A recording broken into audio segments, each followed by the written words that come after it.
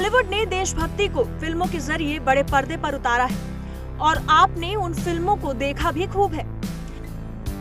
लेकिन देशभक्ति को फ़िल्मों में उतारने में भोजपुरी सिनेमा भी किसी से पीछे नहीं रहा।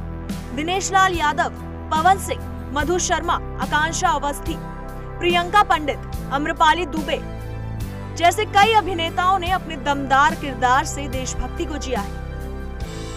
आज हम आपको बताने जा रहे हैं भोजपुरी सिनेमा की कुछ ऐसी ही फ़िल्मों के बारे में जो कि देशभक्ति पर बनी है। पहली फ़िल्म है पटना से पाकिस्तान। भोजपुरी के जुबली स्टार दिनेश लाल यादव उर्फ़ निरहुआ की देशभक्त फ़िल्म पटना से पाकिस्तान लोगों के बीच काफ़ी पसंद की जाती है। इस फ़िल्म के डायलॉग्स काफ़ी शानदार हैं, जिसे सुनते ही रोंगटे खड़े हो जाते हैं। निरहुआ के अलावा इस फ़िल्म में काजल राघवानी और अम्रपाली दुबे भी हैं।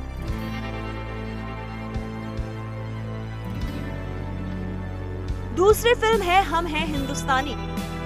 ये फ़िल्म 2017 में रिलीज़ हुई जिसमें खेसारी लाल यादव का दमदार एक्शन देखकर आपके अंदर देश प्रेम की भावना जाग जाएगी। इस फ़िल्म के डायलॉग्स एक से बढ़कर एक हैं, जैसे चिथड़े की क्या बात करते हो लहू का कतरा कतरा बहा देंगे। तीसरी फ़िल्म है बॉर्डर। बॉर्डर, अभिनेता निरहुआ की दमदार फ़िल्मों में से एक है। इस फ़िल्म में निरहुआ ने एक आर्मी ऑफिसर की भूमिका निभाई है।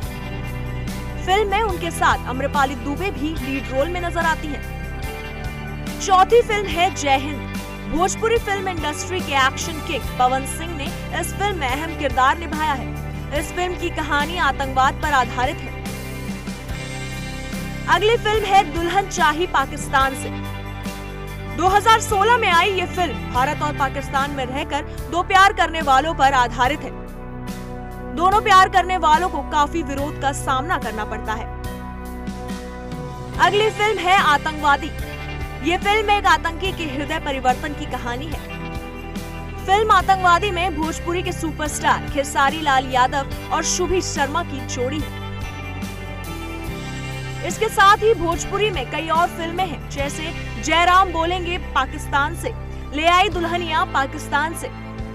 पाकिस्तान में झंडा फहराएँगे, ठीक है? और गदर।